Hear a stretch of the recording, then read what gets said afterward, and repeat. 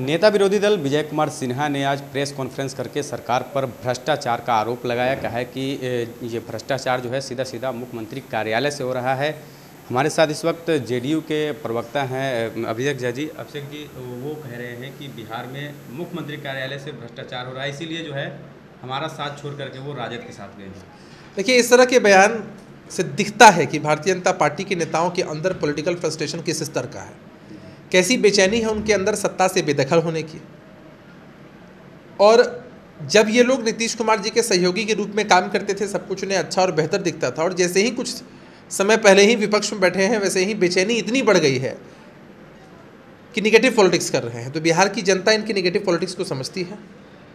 और हाँ सरकार की ये प्राथमिकता होती है कि अगर कहीं कोई गड़बड़ी पाई जाए, कोई तथ्य सामने आए, किसी भी डिपार्टमेंट की तरफ़ से कुछ ऐसे अधिकारी हों जो गलत काम में संलिप्त हो तो उन चीज़ों को आइडेंटिफाई करके निश्चित रूप से कार्रवाई की जाए। और आपने देखा है कि कई बार कार्रवाई करके नज़ीर भी पेश की गई है।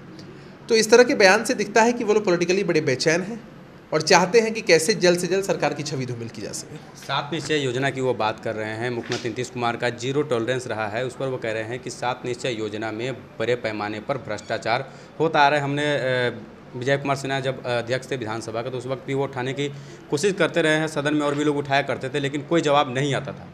अब ज़रा सोचिए कि विजय कुमार सिन्हा जी लंबे काल तक नीतीश कुमार जी के मंत्रिमंडल में मंत्री भी रहे, विधानसभा के अध्यक्ष भी रहे।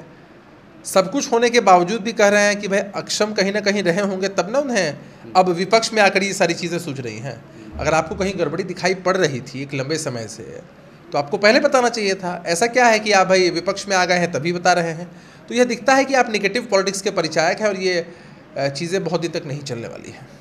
एक तरह से कहा है कि आगे क्या होता है जिस तरह से वो हर बात को उठा रहे हैं सरकार को घेर रहे हैं जंगल राज को लेकर के लगातार वो कह रहे हैं कि राजद के साथ वो गए हैं हमारे साथ थे तो ज़्यादा कुछ नहीं था बिहार में हर चीज़ सही था लेकिन जंगल राज फिर से रिटर्न नीतीश कुमार लाना चाहते हैं लालू राज स्थापित करना चाह रहे हैं। देखिए उनकी बातों में ही विरोधाभास है। कुछ समय पहले तक वो लोग जब हमारे साथ थे सहयोगी के रूप में काम कर रहे थे तब तक उन्हें मंगल राज दिखता था। और जैसे ही आज गठबंधन बदला है, गठबंधन का स्वरूप बदला है, इन्हें जंगल राज दिखाई पड़ता है। जो दिखता है कि इनकी नीति दोहरी है, इनका चाल चरित्र चेहरा कैसा है तो ये लोग चाहे लाख बातें कह दें, बिहार की जनता के मन में अटूट विश्वास है कि नीतीश कुमार जी के सुशासन राज में कभी भी किसी भी तरह की गड़बड़ी नहीं होगी, जंगल राज की स्थापना हो ही नहीं सकती है।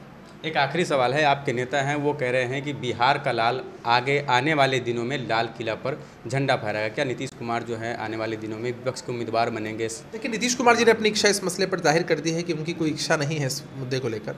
हम लोग विपक्ष में आ चुके हैं विपक्ष की सभी पार्टियाँ एक साथ एकजुट होंगी लामबंद होगी इसके लिए हमारे नेता प्रयास करेंगे। उन्होंने कहा है कि भाई उनकी रुचि नहीं है इन चीज़ों में। और वो किसी चीज़ के उम्मीदवार नहीं है। लेकिन बिहार का आम जनमानस तो उनकी तरफ़ टकटकी लगाकर देखता ही है ना। प्राइम मिनिस्टर कैंडिडेट के रूप में वो परफेक्ट है उनके अंदर सारे गुण हैं।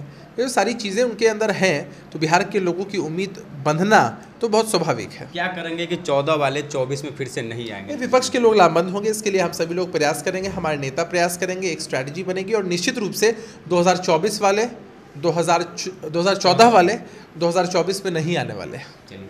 तो बहुत बहुत शुक्रिया हमारे साथ बात करने के लिए, अभिषेक जी। तो हमारे साथ अभिषेक झा थे जेडीयू के प्रवक्ता, जो कह रहे हैं कि 2014 वाले 24 में नहीं आएँगे, विपक्ष एक साथ होगा और मोदी सरकार को हराने का काम करेगी। फ़िलहाल इस स्कोर में इतना ही, बने हमारे साथ। धन्यवाद।